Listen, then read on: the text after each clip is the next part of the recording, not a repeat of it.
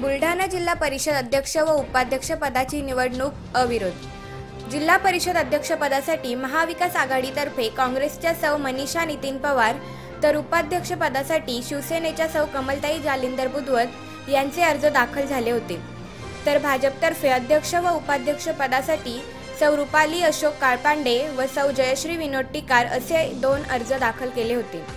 मात्र भाजपाच्या दोन्ही उमेदवारांनी त्यांचे अर्ज शेवटच्या क्षणी मागे घेतल्यामुळे बुलढाणा जिल्हा परिषद अध्यक्षपदी काँग्रेसच्या सौ मनीषा नितीन पवार तर उपाध्यक्षपदी शिवसेनेच्या सौ कमलाताई जालिंदर बुधवत यांची निवड अविरोध विजयी म्हणून जाहीर घोषित करण्यात आली आहे.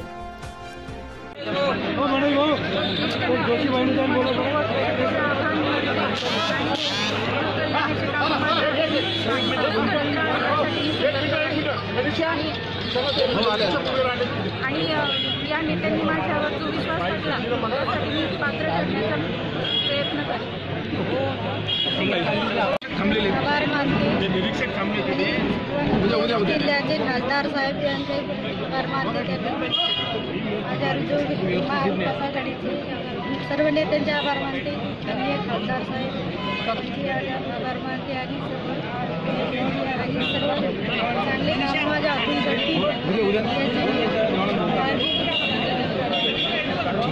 घडतील याचे मी धन्यवाद